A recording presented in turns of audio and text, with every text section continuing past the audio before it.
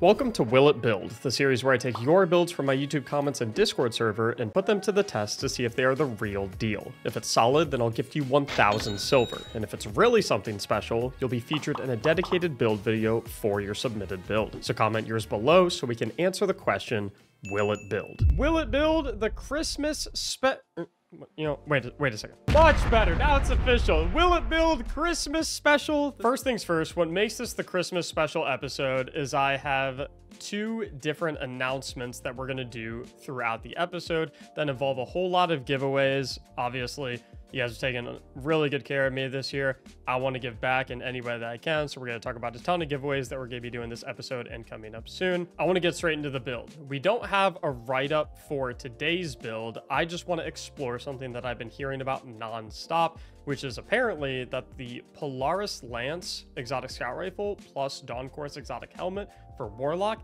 is like the best thing since sliced bread uh, for this season in particular. Put a little something together for y'all, something to keep you warm with plenty of ignitions during these Christmas times.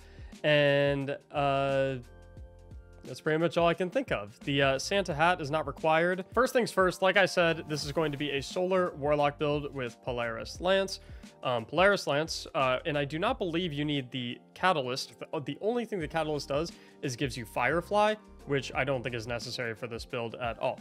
But Polaris Lance itself has precision hits, return ammo to the mag, and landing four precision hits loads a delayed solar explosive round for your next shot. Now, I'm not 100% sure whether that delayed explosive round does like Scorch or counts as an ignition or anything like that. Um, we'll see as we go through it kind of the whole point as we kind of walk through the build together and learn it together, see what's going on. But it pairs really nicely with Dawn Chorus, apparently, because Dawn Chorus allows our Daybreak projectiles to deal more damage and scorch targets on impact, and improves our Scorch, where we gain a small amount of melee energy when our Scorch damages a target.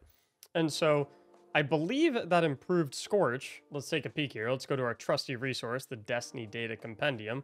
We'll go over to Exotic Armors, and we'll go ahead and search up Dawn Chorus. And it looks like if we look at Dawn Chorus, we have Scorch deals 200% increased damage and grants 5% melee ability energy per tick. So that's what it says when we get, in, that's what it means when it says that we get improved Scorch, which is, I mean, 200% bonus damage. That is a three, technically that's a 3x increase. So pretty impactful. Kindling Trigger where Radiant causes solar weapons to apply Scorch to unscorched combatants. So the idea is we get Radiant, and then every single bullet that we fire with our Polaris Lance is going to load up these delayed solar explosions and scorch enemy targets, which is going to be increased by 200% thanks to our Dawn Chorus. To get Radiant, we could obviously go with the Ember of Torches if we wanted to, um, but with this season, we could also go with Flint Striker, where Rapid Solar Weapon Precision hits and rapid solar weapon final blows grant radiant. Obviously, Polaris Lance is all about landing precision hits, so we can't just take Flint Striker, then we don't even have to run Ember of Torches, don't even have to worry about it, and we can just use this to literally always have radiant. I think we also might want to go Heart of the Flame, so that casting our solar super grants nearby allies radiant and increases the damage of our super, because I think I'm going to play around with something a little untraditional here that I feel like maybe some other people that are showcasing this build online might not be guiding you towards, so might have a little bit of variance. And I think we'll also probably want Revitalizing Blast, so that causing damage with the solar ability weakens champions and bosses. Love that for this build. We'll go Wished into Being, so we can have supers up a little bit more often. Maybe Blast Radius. And then we'll go raise the precision so that while we're radiant, solar precision final blows will cause combatants to ignite. So we get ignitions, precision, solar final blows. We get ignitions just from all the scorch we're applying when we're shooting our Polaris Lance, and we get those big solar explosions. And take a look at our subclass. Now, on our subclass, like I said, where I want to deviate slightly is that Dawn Chorus improves our Daybreak projectiles and have them deal more damage and Scorch targets on impact. Daybreak projectiles apply 30 Scorch on hit and deal 90% increased damage. Typically, it's like sacrilege to run Solar Warlock and not run Well of Radiance, but I feel like anyone who plays a lot of Solar Warlock at this point in Destiny is probably sick of running Well of Radiance. So if, if you want to play Solar Warlock and you go back to the flying, you want to go back to the flying Solar Sword, this is this build is a great excuse for you to be able to do just that. So we'll go ahead and throw on Daybreak. As far as fragments go, what the first thing I want for sure is the Ember of Ashes so that we apply more Scorch stacks to targets. So that just further increases the amount of scorching that we're going to be doing to everything. Probably want to go something like maybe the Ember of Empyrean so that we can extend our Radiant and Restoration effects whenever we get Solar Weapon Final Blows, which will be quite frequent.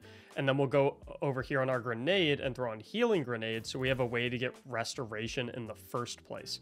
You could also alternatively do something like Heat Rises and Phoenix Dive and eat the Grenade and dive to go ahead and give yourself Restoration, and then you could go a DPS Grenade instead. Me personally, I'm going to go ahead and go this route with the healing grenade because I feel like it's a little bit easier to execute and there's less steps and I always love the simple builds. Touch of Flame also gives your healing grenade restoration times two instead of restoration times one. Really? Oh, okay. Well, never mind then. So I guess we get restoration times two anyway. Yeah, so maybe don't even bother with heat rises. Ignore everything I just said. As a result, I think we can go ahead and go Healing Rift. I don't really think Empowering Rift is going to be super useful here because I believe that the buff you get from Empowering Rift is canceled out by the buff that you get from Radiant, so I think it's kind of redundant to run both of them. Incinerator Snap versus Celestial Fire. I think I'll go Incinerator Snap just because it's more Scorch stacks. More Scorch stacks equals more ignitions. Generally, I feel like this one's better for PvE. The only downside is range, but I think we'll be fine. For our other two fragments, um, I kind of want to lean into all the ignitions that we're going to be doing. So maybe we go something like Ember of Char so that our solar ignition spreads Scorch to affected targets. And then we could maybe go Ember of Eruption so that our solar ignitions have increased area of effect. So all these solar ignitions that we're going to be causing, we're basically just continuously blowing up the entire battlefield. Um, as far as mods go, uh, definitely going with the Harmonic Siphon. I like the Heavy Ammo Finder. I think maybe we just go ahead and double up on the Harmonic Siphon, or maybe we go a Heavy Ammo Scout so we can get some ammo in the hands of our teammates, um, be a little selfless. Far down here goes, I think we'll definitely want a Harmonic Loader. And maybe we'll go something like Impact Induction, since we're going to be getting to use our melee abilities a lot, so we can go ahead and continue to fuel our healing grenades. And maybe we just go ahead and double down on Impact Induction. Or we could maybe go something like focusing strikes so that we get class ability energy and grenade energy every time we hit something with our melee. Let's go ahead and try focusing strike, although I think double impact induction would be fine as well if you wanted to go that route. We're going to go ahead and spec into some resistance mods. So the activity we're going to be running has a lot of void damage and a bit of solar damage, so I'm going to go ahead and slot into those. As far as the boots go, definitely want to invest in some surges because this is, I mean, this is the solar damage build. So we're just going to go double solar surge. And then down here, we can go ahead with Reaper and time dilation. So we increase the duration on both of these solar weapon surges. As far as weapons go, obviously we're going with Polaris Lance. I'm going to go with a disorienting grenades grenade launcher as well. And then I'm going to go ahead and throw on my Apex Predator solar rocket to benefit from those solar surges. And the reason I'm throwing all of this on is because we're mixing things up today with the Christmas special. We're not actually going to do the coil like we typically do. We're actually going to go ahead and hop in and do a Grandmaster Nightfall to make sure that this build, you know, if this build works in a Grandmaster Nightfall, it works in everything. Arguably the hardest activities in the entire game aside from day one raids. So if it's going to work in a Grandmaster, I think we're good to go in literally anything. This being the Christmas special, uh, like I said, we are going to have a couple special announcements in this video, starting with a giveaway. I want to do a giveaway with this video. We're going to give away three emblems. We're going to give away a GDS 89 emblem. We're going to give away a Draconis Tetrachroma emblem, and we're going to give away a Bloodstream emblem. All you have to do to be eligible to win the emblems is like the video, be subscribed to the channel, and comment down below which of the three emblems you are interested in. Have pick three lucky winners for the Christmas special. Good luck to you. Hope you enjoy the video. So, get started, taking some heat, go ahead and throw our healing grenade. Boom, right there. We do indeed get restoration times two and we can go ahead and continue to stack it thanks to our Ember of Empyrean whenever we get kills with enemies. Typically, I'm concerned with Ember of Empyrean in activities like Grandmaster Nightfalls because kills don't happen quite as frequently, but I'm not noticing a huge problem so far. I feel like I had it for that entire engagement back there. So we're just going to hang back here, chill in our Healing Rift. This has this build has a lot of healing is something I noticed because you can invest in all of your healing abilities. So you're pretty safe. And this build is able to stun both of the champions in this activity without any champion mods whatsoever. Because with Radiant, as you can see in the lower left, I have anti-barrier icons on all of my weapons, and Ignitions stun unstoppable champions. So if I just shoot this guy enough and get some Ignitions on him, it'll go ahead and stun the unstoppable. So boom. He got ignited, stunned right there. Just keep spamming, spamming, spamming. It'll just keep getting ignited and it'll blow up eventually. Okay, we're gonna back up a little. I'm gonna try and chip away at the squishier enemies so I can get my restoration loop going a little bit. Get that buff extended plenty. And then we're just gonna absolutely map these knights. See, it's just, everything's blowing up. Clink, clink, clink, clink, clink. Perfect. Let's get a, let's get some Dawnblade action going. Swing our sword at all these guys. Pretty much one-shot everything. Get some Scorch on that Unstoppable right there. We ignited him with the Dawnblade, and then we can just keep flanking away at him. Oh my god. Dude, he kind of got, like, he got destroyed. If we ran in, we could have done a finisher on him. Yeah, that, guy, that guy got killed super quickly.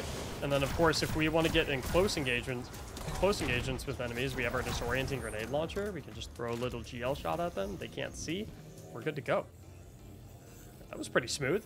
Speaking of the Twitch streams, announcement number two portion of this Christmas special video. Um, all y'all who have been coming in the live streams, twitch.tv slash Mactics, to watch us record these Will It Builds live and even participate in them, um, I've been blown away by all the support all y'all have been showing. And like I said, I just want to find a way to give back. So I wanted to let you guys know, if you don't come in the streams often or if you've never been in here, on December 30th, we're going to be doing a massive stream where we're going to be giving away a ton of rare emblems like Draconis Tetrachromos and Bloodstream emblems, GDS 89s, and other various rare emblems that are no longer accessible in the stream. We're also going to be doing things like giving away Nintendo Switches, giving away PCs even, and it's just going to be an all-around fun time. We're going to do Grandmaster Nightfall carries, maybe record a couple episodes of Will It Build during that stream. So I, you know, I would absolutely love all y'all to come by. I would love to meet you, especially if you've never been to the stream or if you've been here before. Obviously, love to have you come by again, get to say hi to you and have you participate in the giveaways, potentially win something, uh, add a little Christmas spirit to you. So again, that's December 30th.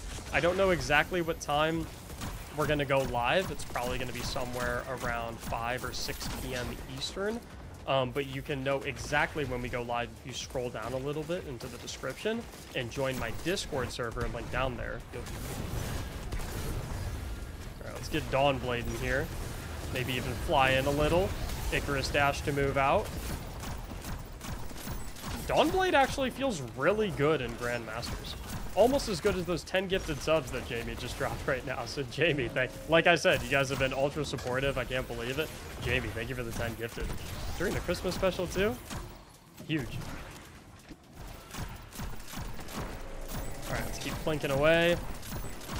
This build is so perfect for GMs because GMs are all about just like playing safe and playing from range in any situation that you can. So a build that allows you to just chill and hang out back, you know, plank away from complete safety, I mean, we're, we're golden. I'm not getting, nothing is even laying a finger on me. I'm just putting a bunch of solar nuclear explosions into all their heads. Before we uh, get into this boss fight, I uh, want to take an opportunity to, I mean, you know, I know I say it a lot and I don't want to get too sappy, but I mean, I made a YouTube post kind of talking about how this has been the best year of my life. Um, and it, it's in no small part thanks to all the support that all y'all have shown. The channel in this year alone, I think, went from about 70,000 YouTube subscribers uh, to now we're closing in on about 220,000. Um, I, I bought a house this year. I got married this year. Um, I, you know, strengthened all my relationships with a lot of my really close friends. Um, I met a lot of really cool new people. Let's see. Let's see what this Dawnblade does. This meatball is notorious for being the absolute worst part of this Grandmaster because of how tanky it is. And we just like, what, we half helped it with two Dawnblades right there? I feel like that's pretty solid. Okay, now we need to keep our restoration going. Oh yeah, restoration times two just from throwing a healing grenade at our feet? Sign me up. And then we'll shoot this wizard with a blinding grenade launcher. So the wizard can't do anything to us. Another blinding grenade launcher. Okay, I just got one shot by the servitor. Cool. So this dude, like, basically can't hit me. And I can just do this all day. I don't even have to reload my gun. Okay, he can't hit me, turns out. But I have a healing rift. So I'll just sit in the healing rift and then I'm good to go, right? Uh, where's his crit? I can't see it through the trees. There we go. Yeah, I never have to reload my weapon. I can just do this all day long. Oh, yep. There's the ignition. That's what we wanted. Oh, no. Yeah. Got our radiant back. Shield goes up. We can shoot through it because we have anti-barrier. And we're just going to keep shooting explosive solar shots into you, and you're dead. All right, I want to try and put as much damage into this guy right away as possible. So I'm going to start with my bait and switch rocket. We're going to shoot a couple shots of Polaris Lance, get the reconstruction to get a new rocket. Then we're going to go Dawnblade and swing, swing, swing. I actually want to try and kill... Okay, so we already phased him to his invincibility orbs phase. So that's a, that's a pretty sizable chunk of damage. Hit the little patented running revive. Okay, let's get a few more rockets down on the boss. I'm gonna shoot him a couple times to refresh my radiant. That'll also give me bait and switch on our rocket. And we're gonna get some more wizards. Get some blinding GL shots on the wizard. Maybe throw a celestial fire. I'm just kind of trying to deal with this wizard. big part of uh, successfully beating this part of this GM is making sure that you really focus on those wizards. They, they will mess you up. Get a healing grenade down. And this wizard's finishable, I think. So there's one. So we got one more to go. And I'm the last alive. So we're going to see if our combination of Icarus Dash and healing tools is going to be enough to keep us safe shoot a blinding GL so that wizard's not poking at us anymore. Hopefully safely pick up our teammates. I was on completely the other side of the arena and I just kind of made my way all the way around. That was pretty awesome. Yeah, definitely learn how to use Icarus Dash with this build. Use it to maneuver, use it to stay safe, use it to reposition, huge part of this, undoubtedly, as you can see right there, what just happened. All right, now we're just gonna try, just gonna try and poke him down. With Radiant, you one-shot all of his uh, retaliation orbs.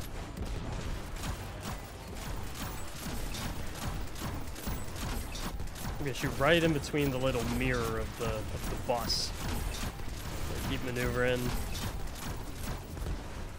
Completely out of heavy ammo, which is unfortunate, but our Polaris Lance can go ahead and mop him up just fine. Killing pretty quickly there.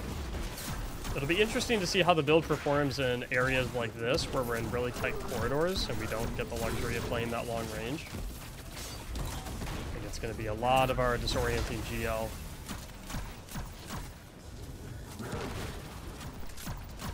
I know we have an unstop somewhere around here.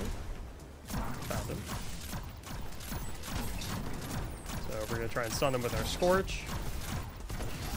Just like that. And yeah, once you get the stun on him with the Scorch, he basically falls over. There's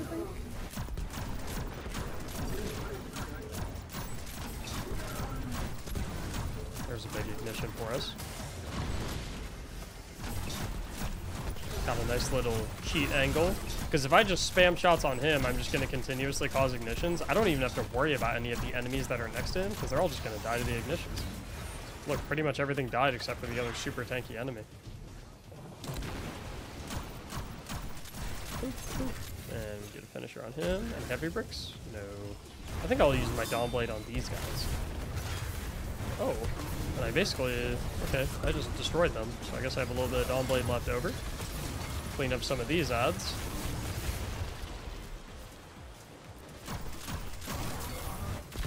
And unfortunately, there is no crit spot on the Threshers, so we can't do our Polaris Lance perk on it. I know everyone hates these Threshers so much. And I'm with them. I wish they had a crit spot. If they had a crit spot, I wouldn't hate them nearly as much. Threshers actually have an anti-crit spot. Shooting their turret does less damage than shooting the main ship. Wait, really? 1429, 1429. What? Who made Threshers? They have like six different damage options depending on what part of the ship you shoot at, apparently. Oh, whoa. Whoa! Okay, that guy just got destroyed. Do the same thing to his buddy?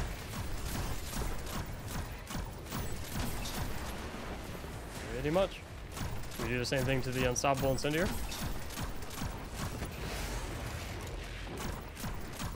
I love me a good long-range build. I wonder how this would feel if you got two friends and they both ran the exact same thing. You probably one-shot everything from like 9,000 yards away. Throw a little bit of that, and then we need to get enough scorch shots into this Unstoppable Incendiary to get an ignition to get him stunned. And boom, there we go.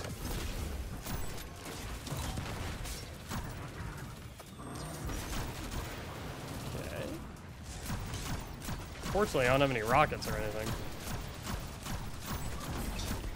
You can. I love getting Radiant just by hitting precision hits on him.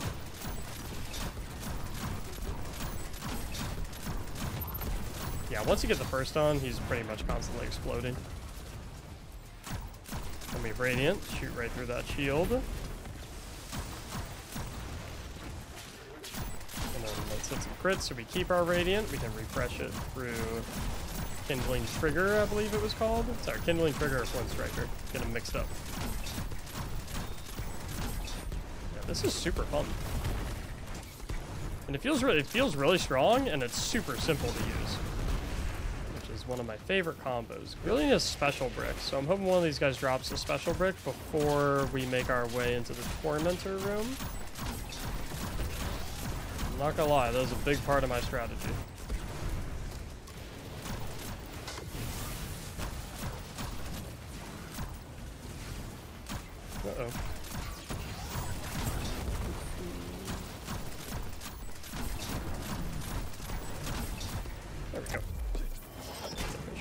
There's my special brick that I needed.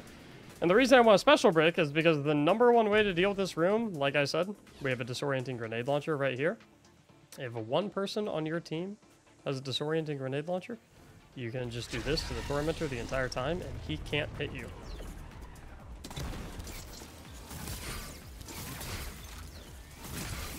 The entire time. Doesn't matter what mode he's in. All you have to do is really focus on clearing the eyes.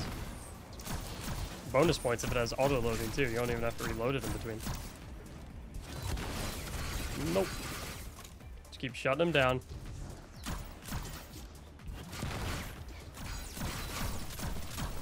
Remember when Bungie was doing all that marketing and they said like, we have made the scariest enemy in the entire game?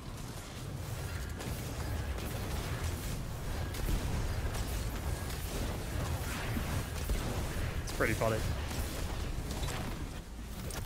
And he's gone. Scariest enemy in the entire game. Okay, here we want to be sure to kill the champion first. Because killing the other one is what spawns the thing. And I want to show the cheese. So we'll kill the champion, and then we can work on the other one. And for anyone having a tough time with this GM, there's a cheese for it that makes it so easy. So you just wait, you do not kill this because that's what starts the boss fight. You can get up there like relatively easily and then the only thing that can kill you is like if knights shoot fire up there. All you do is jump up on this orange cable and then you're basically going right here. You can do this on all three classes by the way. And then you kind of have two different path options here. If you're on a hunter, in my opinion, this is the easiest one for hunter. Oh, as you can see here, it's a little bit more of a struggle on Warlock. And we're gonna go ahead. You kind of want to like hit this and mantle it almost. Maybe use the Icarus Dash for help. There we go. And then you kind of want to go like right above where you currently are. Oh, messed up a little. Yeah, like I said, this one's a little weird on Warlock. But yeah, right above where you currently are. And then you kind of like jump out into the right to get on the roof. And then boom, you're right here. You have this whole like patch to hang out on and shoot the boss from. It's really nice. Instead of going for that little bracket there, there's like a little thing you can mantle if you jump straight up. And you can sit on it. And then once you're here, you can skip that little hanging part entirely. And just go right for that piece. I don't think we want to do a cheese for a Will It Build episode. But I just wanted to mention it just in case any of y'all are struggling with this and, you know, you want an easy clear, get your Conqueror seals. I get it, you know. We're to hang out down here. I think the key with this boss fight, because I haven't done this new boss fight as much, the key here, I think, is going to be to play it very slow and anytime he spawns ads, kill every single ad before you even think about damaging him again. That's what I'm thinking we're going to want to do. And then also, there's a lot of the corruption things hanging around. Making sure we're always killing the corruption things, I think is also going to be pretty important. So we're just gonna we're just gonna plink away at him. And the second he spawns ads, then we're done. We're just exclusively focusing on the ads. So boom, there's ads Just focusing entirely on the ads and not bothering with the boss at all. And then obviously the darkness things that he spawned, like I said, that's what puts the corruption all over the battlefield. So making sure that we're always killing those is going to make the whole battlefield a lot safer so you can stay away from him. That's the key here. Because this fight seems really bad, but I think this fight is only bad if you rush it. Because as you can see here, we have the full arena. There's really nothing that's shooting at us. It's just him. We're in a pretty good spot. Now we have some more ads. So yeah, taking care of all these... They have objective markers on them too, so they're hard to miss, but that's what takes care of all the goo. There must be another one somewhere, yep. And now it'll start to wither away, and then you have access to the full arena again. Chipping away. And then once we get him kind of low, I think that's when we can all pop our supers and pop our Dawn Blades and just absolutely annihilate him. Maybe when he gets to like a third of his HP. Ton of special bricks over here. He's doing something. Well, what? Okay, let's get rid of these corruption nodes. Because what's really going to mess you up is all the uh, corrupted floor that's going to do a ton of damage to you. If you focus those corruption nodes, you're golden.